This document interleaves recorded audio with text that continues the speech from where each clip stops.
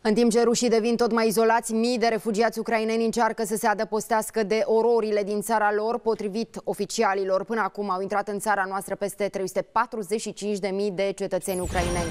Și vă promiteam că mergem în Vama Isac, cea acolo este în continuare colega mea Cătălina Buzoianu și vine cu ultimele informații.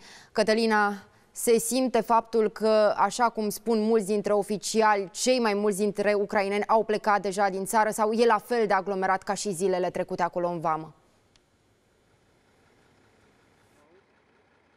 Bun găsit, un lucru este cert, Vama Isaccea s-a transformat în poarta spre libertate pentru mii de cetățeni ucraineni. Cei drept, în ultima perioadă, numărul lor a scăzut, însă, cu siguranță, vorbim de faptul că cei care urmează să vină, probabil locuiesc undeva mult mai departe de această localitate Orlovca, de unde se poate lua bacul și atunci durează până ajung aici. Cei care locuiau, spre exemplu, în Odessa sau la Ismail sau la Chilia, sunt mulți dintre ei care au venit deja. Ieri, spre exemplu, veneau și din Mariupol. Cu siguranță uh, exodul va continua și în perioada următoare, chiar dacă poate nu va mai avea, uh, nu vor, numărul nu va mai fi atât de mare, dar în continuare oamenii vor dori să fugă din calea războiului. Iar așa cum vă spuneam, Vama Isaccea este poarta lor spre libertate. Mulți pornesc de aici mai departe, nu rămân în România pentru că au rude, fie în Germania, Italia, Spania, Franța, în toată lumea preferă să meargă numai să scape de cuvinte precum război, uh, bombardament sau moarte, pentru că acum cuvântul moarte sau acum moartea îi pândește practic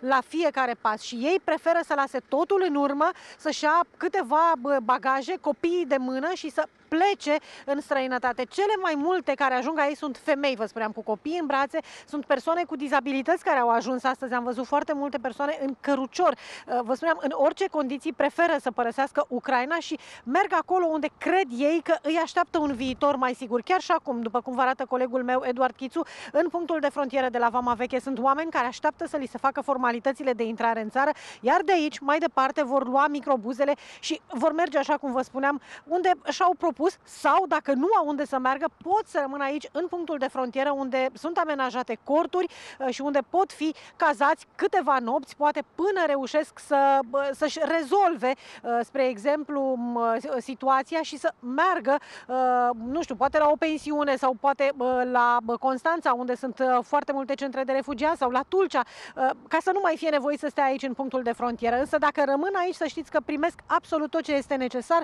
hrană, îmbrăcăminte, alimente, um, chiar și um, hrană pentru animale este pusă la dispoziție, pentru că mulți să știți că vin până și cu animalele de companie. Cătălina Eduard, mulțumesc foarte mult pentru imagini și informații.